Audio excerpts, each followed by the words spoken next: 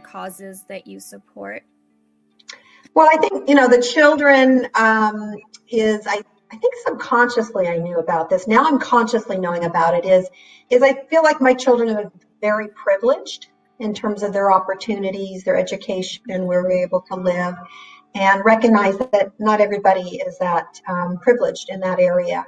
And I really wanted to reach out and teach my children as well. How can we help out in these communities by giving?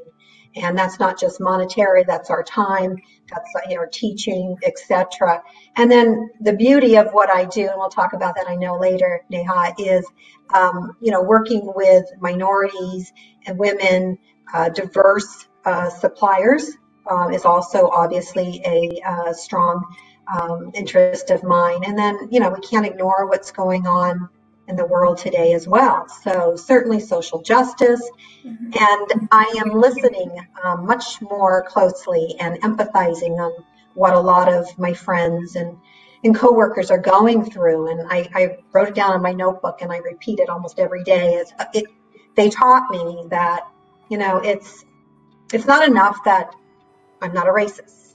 You know, one of my best friends is black. I have black employees on my team that's not enough. What we need to do is be anti racism and use my voice and speak up uh, for these, you know, inequities, um, etc., and do more. And um, so I have a lot more to learn and do in that area, but it's certainly on top of mind.